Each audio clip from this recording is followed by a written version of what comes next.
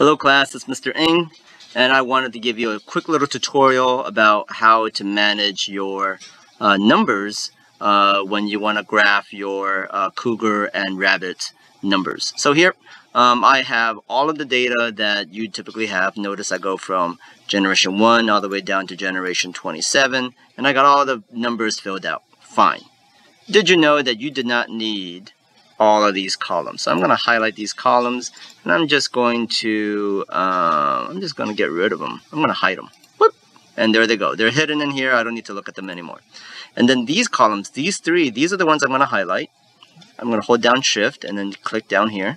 Right, I've highlighted all three and I've also highlighted um, the titles. And now I'm going to go down to insert and I'm going to insert a chart. Google's probably going to give me a line chart automatically. That's awesome. If Google does not give me a line chart, I would go over here and I would pick line chart. I would pick line chart. One of these guys right here. That's good. And then all I got to do is customize. And it looks like my title is kind of bad. So I'm going to retitle this. I'm going to call this Predator-Prey Relationship. Predator-Prey.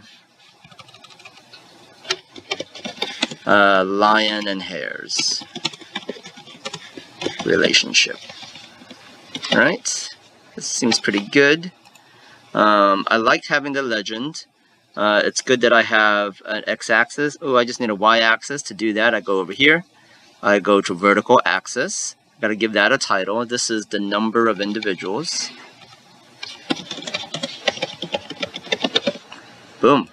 Done and done. Hey, uh, make sure that you have titles and units for um, your charts. In the past, uh, this is where a lot of us lost points. And that's all you got to do. You just insert chart, fix up the titles, and you are good to go. Thank you very much for watching.